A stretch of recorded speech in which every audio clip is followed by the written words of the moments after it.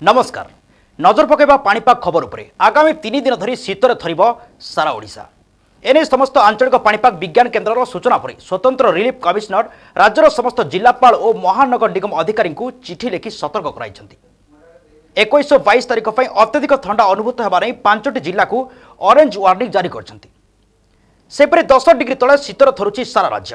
ସର୍ବନିମ୍ନ ଚାରି ଡିଗ୍ରୀ ତାପମାତ୍ରା ସହ ଫୁଲବାଣୀ ରାଜ୍ୟର ସବୁଠୁ ଥଣ୍ଡା ସହର ଥିବା ଝାରସୁଗୁଡ଼ାରେ ସର୍ବନିମ୍ନ ତାପମାତ୍ରା ପାଞ୍ଚ ଦଶମିକ ଆଠ ଥିବା ପରେ ପରେ ଦାରିଙ୍ଗବାଡ଼ି ଛଅ ଡିଗ୍ରୀ ଅନୁଗୁଳ ଛଅ ଦଶମିକ ଛଅ ଡିଗ୍ରୀ କୋରାପୁଟ ସାତ ଡିଗ୍ରୀ ଭବାନୀପାଟଣା ସାତ ଦଶମିକ ଆଠ ଡିଗ୍ରୀ ରହିଥିବା ବେଳେ ବଲାଙ୍ଗୀରରେ ସର୍ବନିମ୍ନ ତାପମାତ୍ରା ଆଠ ଆଠ ଦଶମିକ ଆଠ ଡିଗ୍ରୀ ରହିଥିବା ବେଳେ ରାଜ୍ୟର ବୌଦ୍ଧରେ ନଅ ଡିଗ୍ରୀ ତାପମାତ୍ରା ରେକର୍ଡ କରାଯାଇଛି।